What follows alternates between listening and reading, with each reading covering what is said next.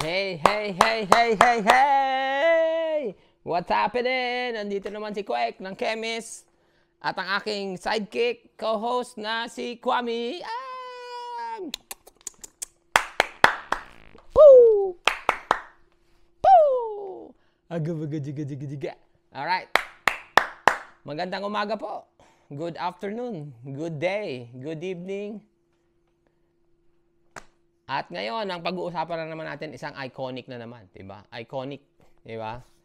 Iconic, tas dadagdagan natin ng ah, aking mga Kasi 'di ba, may konting yabang, 'di ba?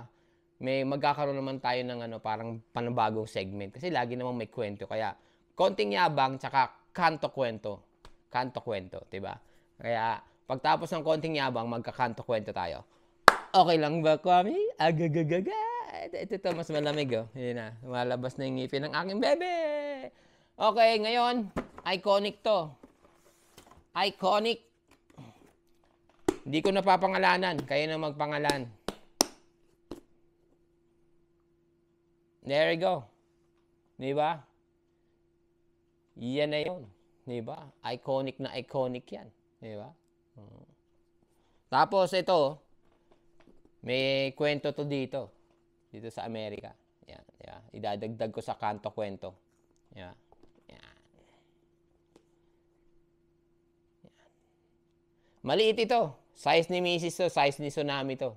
Pero meron din ako, pero hindi hindi ako hindi ako susot ng ganito eh. Binili ko lang dahil iconic eh. Sa Pilipinas, hindi rin ako nagkaroon ng ganito kasi ang mahal sa Pilipinas itong DMs na to eh.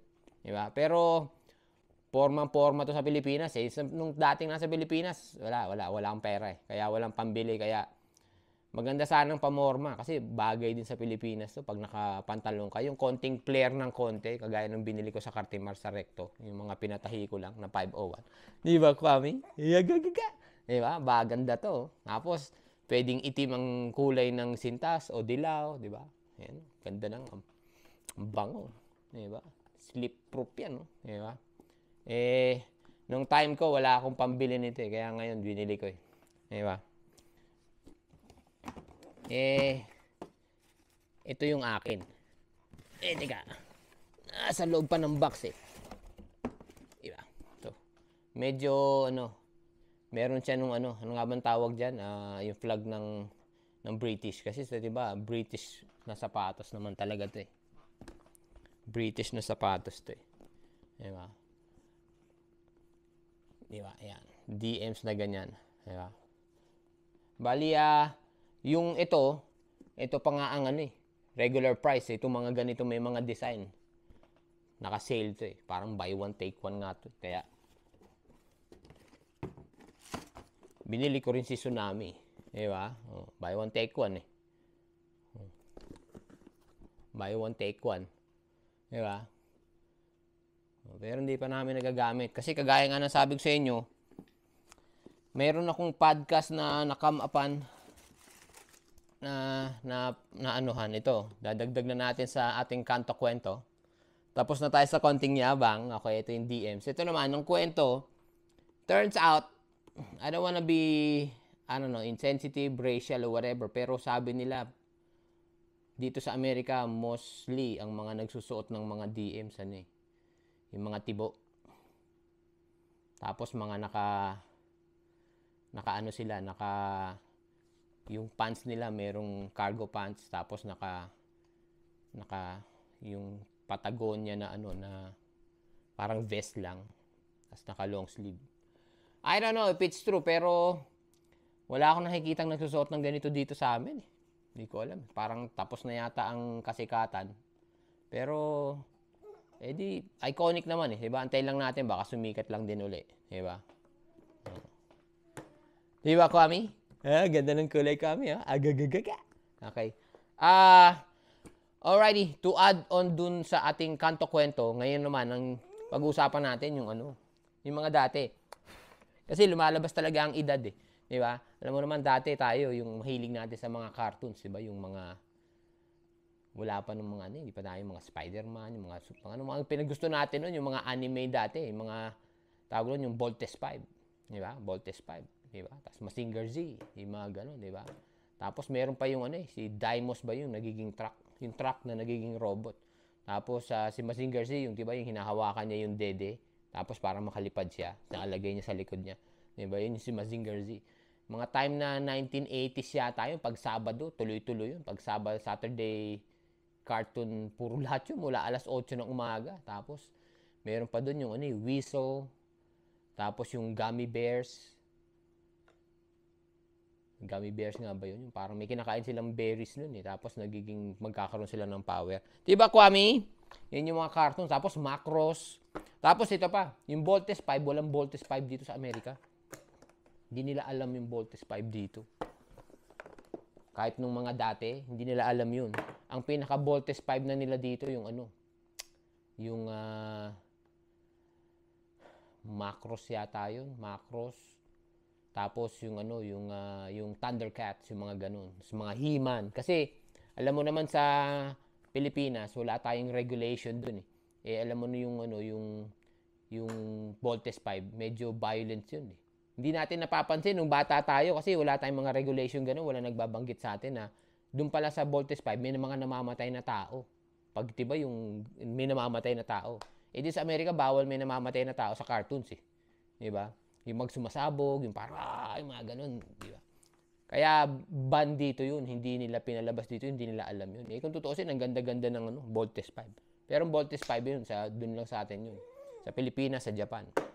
Di ba? Kaya yung mga violence na ganun, wala. Tapos, uh, yung sa kanila dito, yung Thundercats, tapos yung ano nga dito, yung G.I. Joe, di ba? Pag sa G.I. Joe, pansinin nyo lang, nung dating pinanonood natin, walang namamatay dun. Kasi nga, pag, let's say, may helicopter, tapos tinira nila ng missile, bagong pagsabog nun, magpa-parachute yun. Lahat, nagpa-parachute, di ba? Ganun ang dito sa Amerika, medyo, medyo ano sila eh, medyo, I don't know, medyo concerned sila na baka makita ng, ewan ko, basta alam nyo na yun. Sa atin kasi wala regulation na ganun eh, di ba? Eh, ngayon, parang ano eh, parang magpapalabas yata ng panibagong Voltes 5 o Mazinger Z. Tapos may mga nakikita akong tropa, uh, shoutout kay Rest Rivera. Bali, uh, nakita ko yung t-shirt niya, ano, yung tawag nun, uh, Mazinger Z, yung parang yung, ano, yung, ano niya, yung nasa likod niyang Z. Kaya gagawa ako ng susunod natin vlog, gagawa ako ng sombrenong ganun, nalagay ko dito yung yung ano, yung ano niya, yung Mazinger Z niya. 'Di ba? Yan, tapos iba-vlog natin 'yun. Yan yung mga yun yung mga tawag nun, yung mga dating mga 1980s, ewan ko, mga, tanda na ako eh. Yun yung mga cartoons na pinanonood namin nung 1980s eh. Di ba? Kami, naka-enjoy na enjoy siya dun sa yellow, sa yellow na ginagawa niya. Oh. Diba, eh, sana ipalabas na rin yun, di ba? Para sa, tawag nun sa, ewan ko kung saan nila mapalabas yun, sa Netflix o sa DVD para mapanood natin. Pero ako, hindi ko matandaan na yung, ano, eh, yung storya ng, ano, eh, ng Voltes 5 kasi parang bata pa ako, no? parang natutuwa na ako kasi nagiging robot, nagbubuo sila, bolt in, gano'n, di ba? Pero ang mas natutut natatandaan ko yung ano eh, yung cartoons na ano eh. Alam ko, hindi ko alam kung macros yun eh. Ano siya, bumili sa Libertad ko lang din nabili kasi wala kaming ano nun. Eh. Ay hindi, may mga Transformers pa pala, no? Pero mas later na yung Transformer, na una yung ano, macros. Yung macros, yung ano yun eh, yung parang jet fighter siya, na may lumalabas na paa, tapos nagiging robot. 'Di ba? Tapos may mga kalaban nila ano eh, parang mga malalaking tao. Mga ganun eh. Tapos sa uh, hahanapin ko nga saan pwede mapanood yung macros na yun. Yung macros parang ano eh, parang eh yun yung jet fighter na nagiging robot. Pero bago sa maging robot, jet fighter na may paa muna. 'Di ba? Naalala ko nun sa Libertad, bumili ko nun ano eh, yung mga yung mga ano lang, yung mga japek-japek lang na ano kasi mahal mga laruan dati. Di ba? Hahanapin ko nga yun, panonoodin ko. Kasi parang yun, naalala ko yung mga story. Ano, tapos merong babae na singer, na ganun. Tapos yung lalaki, ngayon nga, hanapin ko nga yun. Pero kung may makikita naman akong Voltes 5, panonoodin ko na rin yung Voltes 5. Di ko alam kung saan pwede mapanood yun eh. Okay, tapos na yung ating mga nostalgic. Tapos sa uh, ngayon, nagkaroon tayong panibagong segment, yung kanto kwento. Bali, uh, konting yabang. Eh, konting yabang ko yung mga na-accumulate kong mga whatever. Diba? Mga gadgets, sapatos, whatever. Tapos, dadagdagan natin ng konting konting kwento. Kanto kwento. Kanto kwento. Kasi dun sa sa shoutout naman kay ano, kay Monching dun sa Pasay dati. Kasi sa Pilipinas meron tayong ganun eh, yung kanto, meron talaga lagi tayong kanto eh. Tapos may bangko dun. Sobrang luma na ng bangko, kumikintab na. Napinturahan, tapos inayos, ni-repair. Doon upo-umpo ka lang doon ng 5 minutes. Mayroon nang darating ulit, dalawa na kayo noon. Kwentuhan na kayo noon. Tapos kung saan-saan na kayo makakaabot ng kwento noon. Yun yung kanto-kwento eh. Alam ko kahit saan meron noon eh. Di ba kahit sa doon sa amin meron eh. Basta pag wala kang magawa, punta ka lang doon. Tayo ka lang doon. Maya-maya, dalawa na kayo, tatlo na kayo, apat na kayo. Tapos may mabubuo na kayong kwentuhan o may pangbubuo na kayong mga gagawin. Di ba? Kaya, ayun na, dadagdag ko na yung anong yun, yung ah, segment na yun. Okay, marahaba na masyado. Okay, Kwame, are you having fun? Nanonood siya ng cartoons eh. Agabagadiga. Ag magbababay na tayo.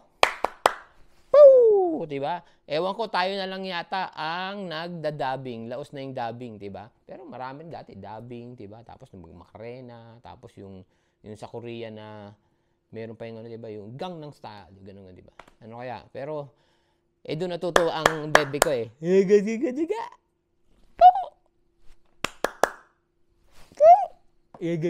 Ah. Okay, magbababay na kami. Maraming salamat po sa ating video ngayon na na DMs. Dr. Martens. Naku, ang ganda nito sa maong. Yung medyo kupas ng konti. Tapos flare type, yung parang bell bottom na konti lang, di ba? Hindi masyado. Tapos mahigpit. Ganyan. Yeah. Okay, maraming salamat po. Hanggang sa, uy, bless you. Bless you. Okay. Bless you, bless you, bless you. Tawa ng tawa ang baby ko. Tawa ng tawa ang baby ko. Okay, maraming salamat po. At hanggang sa susunod. Bye-bye.